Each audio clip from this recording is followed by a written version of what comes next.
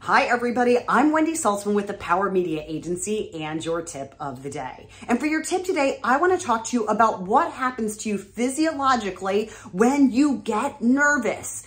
When you have anxiety, your body ends up going into a fight or flight response. And as a result, it starts pumping adrenaline into your system.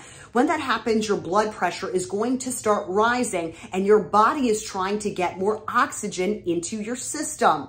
But a lot of us end up breathing more shallow when that happens. And therefore we don't get that oxygen into our system and our blood pressure will continue to increase. So the solution is to breathe. So I want you to try this if you get anxious. Breathe in for four seconds, hold for four seconds, breathe out for four seconds, and hold for four seconds. It's called painting the box, and it's something that they do in the Navy. So in order to battle your butterfly and overcome your fears and anxiety, try to breathe. And thank you for turning to me, Wendy Saltzman and the Power Media Agency for all of your public speaking, media training, and video marketing needs.